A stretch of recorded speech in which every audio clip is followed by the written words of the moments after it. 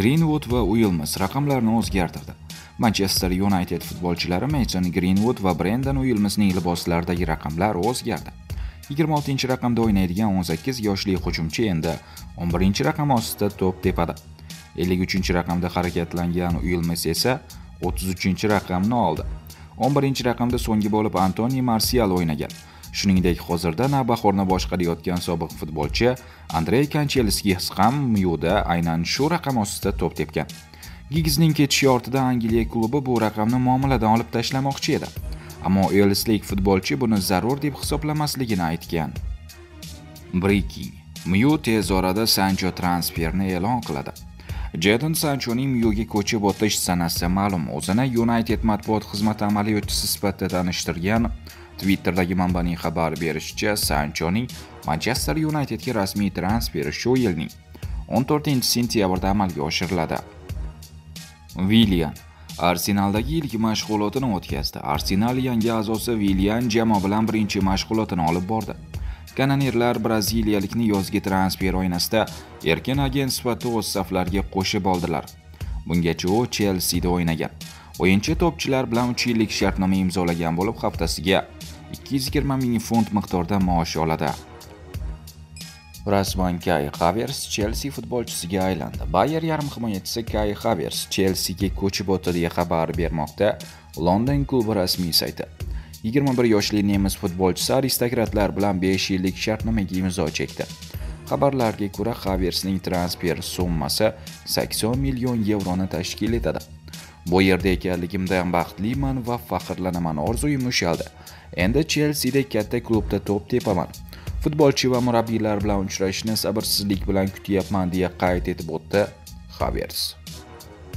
Zidanning shogirdi Manchester Unitedga o'tadi.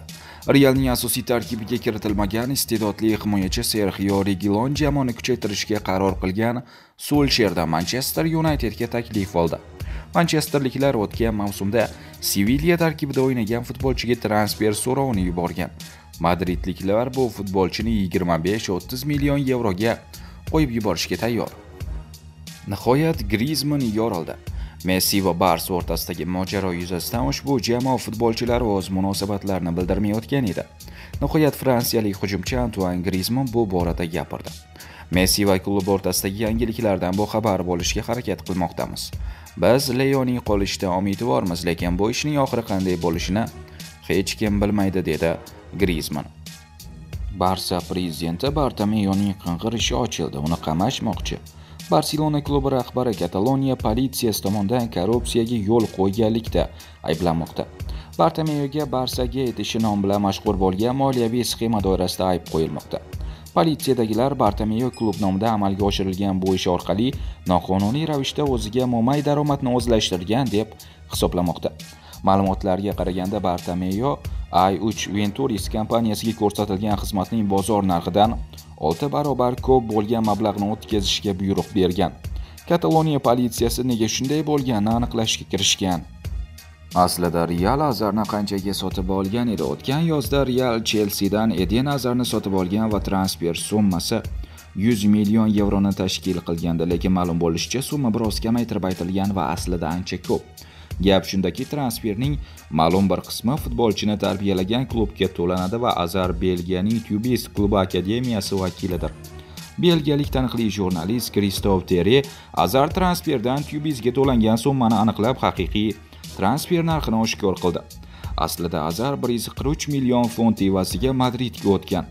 To'lovlar 3 bosqich bo'lib 2019-yilda 36 million, 2020-yilda 50 million va 2021-yilda 57 million funt to'lanishi ko'zda tutilgan. Farq 54 million funt katta summa. Chelsea shuncha o'yinchini qaysi pulga olyapti? Real nega hamon bozorda passiv? Endi bilsa bo'ladi. Shahzod Ubaydullayev, Shomurodov raqobatdan qo'rqmayman. O'zbekiston terma jamoasi kecha o'rtoqlik uchrashuvida Tojikiston termasini 2-1 hisobida mag'lub etdi. Terma jamoadagi debyut o'yinini o'tkazgan hujumchi Shahzod Ubaydullayev o'zining ilk golini urishga erishdi. Uchrashuvdan so'ng Baydullayev quyidagi fikrlarni bildirib o'tdi. Debyut o'yinim yomon chiqmadi deb o'ylayman. Tojikiston terma jamoasi ham avvalgidan ancha o'zgargan. Hamma joyda futbol rivojlanmoqda. Qo'shnilarimiz ham bugun yaxshigina qarshilik qilishdi. Uchrashuv avvaldan gol urishni maqsad qilgandim. Har holda debyut o'yinda gol urish boshqacha ta'sir qiladi. Nasib qilsa terma jamoada muhim futbolchiga aylanishga harakat qilaman. Shomurodov: Men raqobatdan qo'rqmayman. Raqobat bor joyda o'sish bo'ladi dedi Ubaydullayev. Modrich Zidan jahonning eng yaxshi murabbiylaridan biri. Madridning Real klubi yarim himoyachisi Luka Modrich jamoa bosh murabbiyi zinidin Zidan haqida fikr bildirdi. Zidan jahonning eng yaxshi murabbiylaridan biri, bunga hech qanday shubha yo'q. U futbolchilarni yaxshi tushunadi va yordam beradi. Uning rahbarligida qo'lga kiritgan yutuqlarimizni tasavvur qilib bo'lmaydi. Unga omad keldi deb aytadigan odamlar borligini bilaman. Biroq Zidan ularning tan olinishiga muhtoj emas, u haqda uning natijalari gapiradi, dedi yarim himoyachi. Neymar psj bilan shartnomani uzaytirishga tayyor. psj hujumchisi Neymar klub bilan shartnomani uzaytirishga tayyor ekanini ma'lum qildi bu haqda. Del Mirror xabar tarqatdi. Braziliyalik futbolchi o'tgan yilning yozida Barselonaga o'ta olmagandan keyin parijliklar rahbariyat bilan munosabatni to'g'ri yo'lga qo'yib oldi. Shu bois u Paris Saint-Germain taklifini qabul qilishga qaror qildi. Tomonlar yangi shartnoma detallarini muhokama qilishga kirishishdi. Messi bilan eksklyuziv intervyu tashkil etildi. Barselona hujumchisi Lionel Messi klubda qolishini e'lon qilgandan so'ng o'z fikrlarini bildirib o'tdi.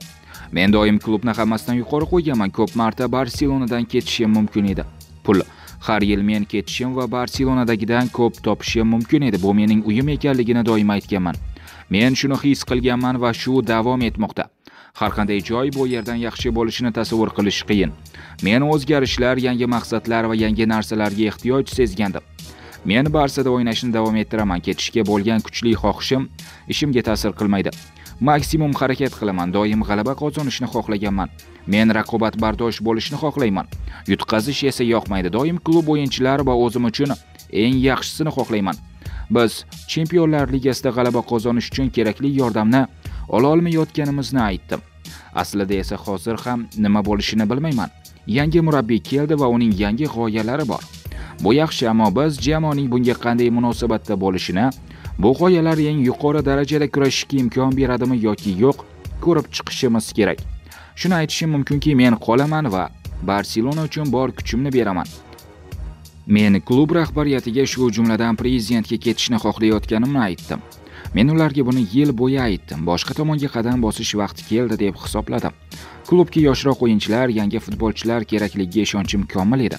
Barselonadagi vaqtim oxiriga yetib keldi deb hisoblagandim.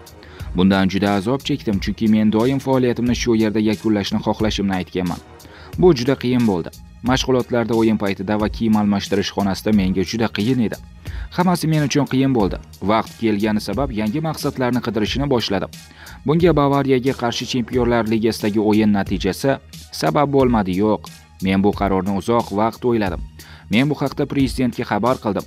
U esa meni har mavsum so'ngida o'zim uchun qaror chiqarishim mumkinligini aytdi. Aniqrog'i hammasini o'zim hal qilishimni u o'zining ustida turmadi. Rafiqam va bolalarimga ketmoqchi ekanligimni aytganimda qattiq drama bo'ldi. Butun oilam yig'ladi. Bolalarim barselonadan ketishni va maktablarni o'zgartirishni xohlashmadi. Ammo men oldinga qarardim. Men eng yuqori darajada o'ynashni sovrinlar yutishni chempionlar ligasida musobaqalashishni xohlayman. Turnirda yutishingiz va yutqazishingiz mumkin sababi bu juda qiyin narsa. Ammo kurashish kerak. Matyo hali kichkina va boshqa joyga ko'chishni va u yerda bir necha yillar yashash nima ekanligini tushunmaydi. Tiago televizordan nimanidir eshitdi va menga savollar berdi. Men uning boshqa joyga ko'chib o'tishini va yangi maktabga borishga majburlayapti deb o'ylamasligini umid qilgandim. U yig'lab yubordi va dedi men hech qayerga ketmayman. Bu juda og'ir edi. Bolalarim shu yerda o'sishdi.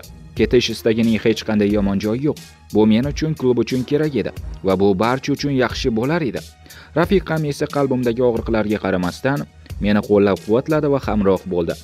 Barselonaga sodiqligimga shubha qilgan odamlardan va jurnalistlardan eshitgan narsalarim meni chinakamiga xafa qildi. Ular shunday gaplar aytishdiki xuddi men bularga loyiq emasdek edim bu menga odamlarni haqiqiy ko'z bilan ko'rishimga yordam berdi. Futbol olami juda murakkab unda soxta odamlar ko'p ushbu voqea ularning ko'pchiligini tanib olishimga yordam berdi. Men bu klubga muhabbatimni shubha bilan gapirishganda bu narsa juda og'ir botdi kelajakdagi faoliyatim qanday rivojlanishidan qat'iy nazar barsaga bo'lgan sevgim hech qayerga ketmaydi ular meni 10 iyundan oldin ketishimni xohlaganini aytmagan deb aybdor qilishdi Ammo biz iyun oyida ham chempionatda o'ynadik. Bu la'nati virus barcha taqvimni o'zgartirdi. Shu sababdan men klubda o'ynashni davom ettirdim.